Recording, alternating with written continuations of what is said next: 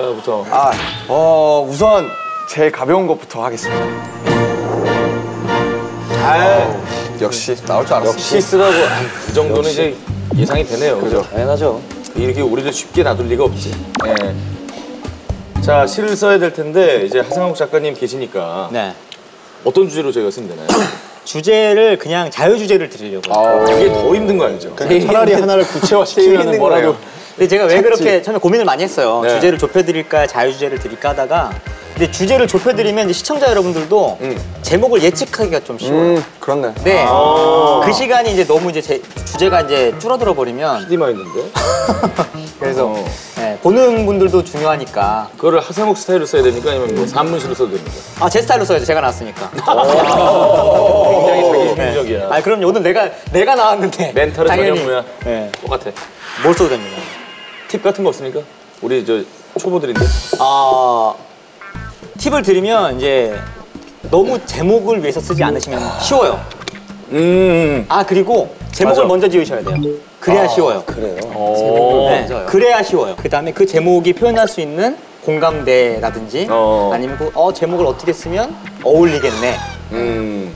실제로 일반 대기업이나 이런 데서 하상욱 씨시 스타일이 되게 창의적이나 이런 걸로 좀 인정을 많이 받아서 어. 대기업이나 이런 데서도 회사 사내에서 이벤트로도 진행할 때도 있고 아니면 일반 고객들한테 대상으로 음. 이벤트성으로 많이 하거든요. 그래서 어.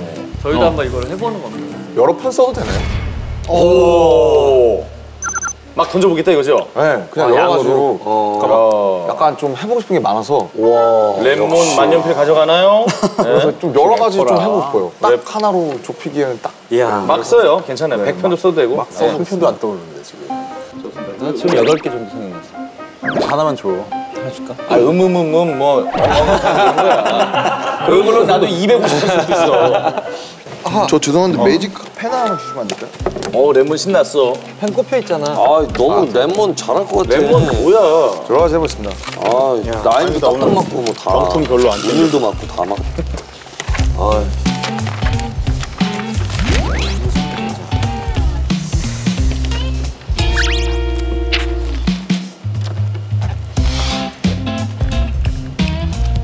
그러면 시인 한 분씩 우리 오늘 문학의 밤이거든요. 네. 작가들 모여 있으니까 어떤 자 랩몬스터 작가부터 아, 어, 우선 제일 가벼운 것부터 하겠습니다. 제목을 먼저 얘기하지 마요. 네. 지금은 널 앓고 있지만 이제는 널 알고 싶구나. 한승현. 한승현.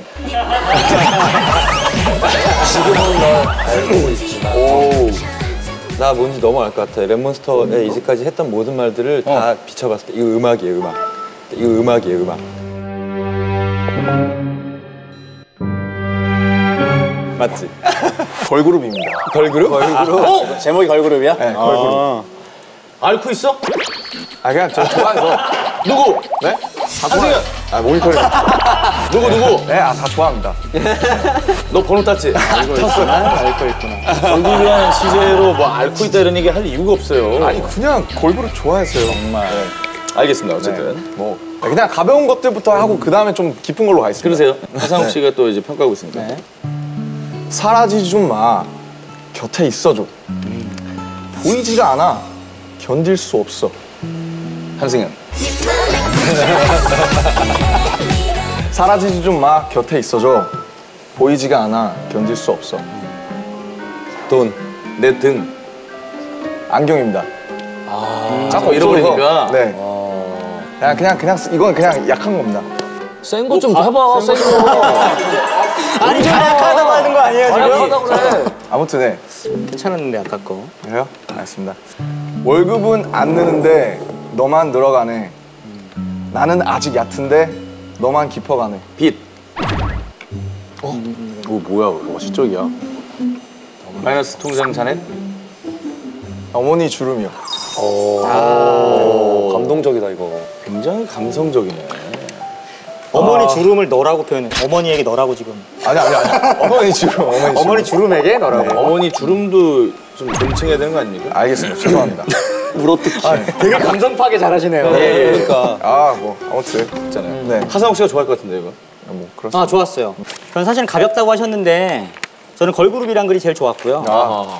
네, 왜냐면 사실 아까 말씀하셨던 건 음악이라고 말씀하셨잖아요. 네. 그걸 먼저 떠오르게 만들어 놓고 어 반전. 그, 그 장치를 그 두신 거거든요. 그러니까 제가 쓰는 그 장치를 그대로 쓰신 아, 네, 오, 그 정도로. 높- 높게 평가하고 제목도 좋았고 오.